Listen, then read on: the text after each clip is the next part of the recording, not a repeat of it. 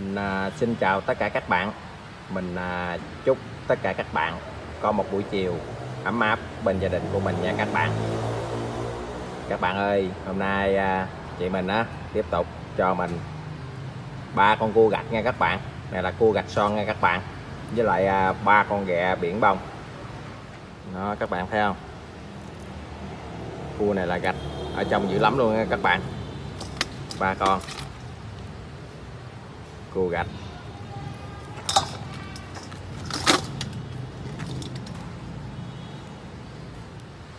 Mấy con ghẹ này cũng còn sống nha các bạn. Ba con. Chút xíu á mình luộc. Rồi à, mình quay. Mình mời tất cả các bạn ăn với mình nha.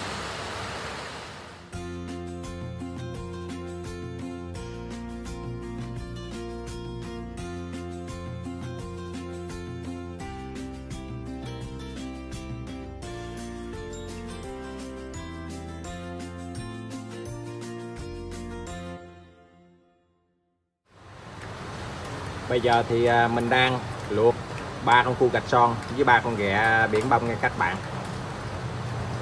Mình thì à, lúc nào cũng dễ các bạn. Mình luộc là mình đổ nước nhiều lắm. Xong rồi à, gần chín á mình đổ nước ra bỏ. Rồi các bạn muốn hấp bia thì các bạn lấy à, một lon bia các bạn đổ vô. Là ăn không bao giờ mặn nghe các bạn. Ngon xuất sắc luôn các bạn. Các bạn hãy làm thử theo cách của mình nha.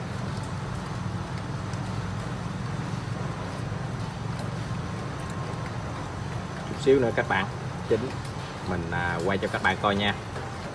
Các bạn ơi bây giờ mình luộc à, ba con cua gạch son với lại à, ba con ghẹ biển bông. Chín rồi này các bạn. Các bạn dòm ngon xuất sắc không?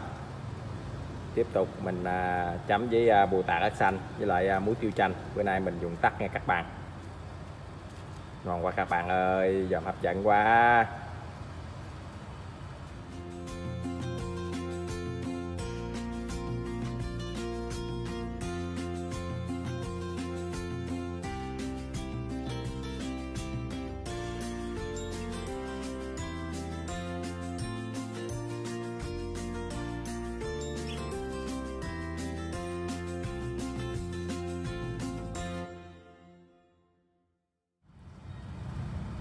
Bây giờ mình đã à, tách ba con cua gạch son ra thử nè các bạn.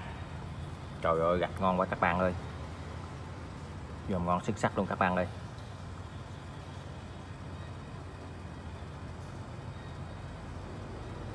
Các bạn thấy gạch đó không? Đầy nhóc ở trong à, con cua luôn các bạn. Rồi mình à, cũng xin mời tất cả các bạn ăn à, cua gạch son với lại à, gà biển bông chấm à, bù tạt ớt xanh với lại à, muối tiêu à, nặng tắt cùng mình nha. Các bạn hãy à, xem video ủng hộ mình nha các bạn. Mình xin à, cảm ơn tất cả các bạn rất nhiều.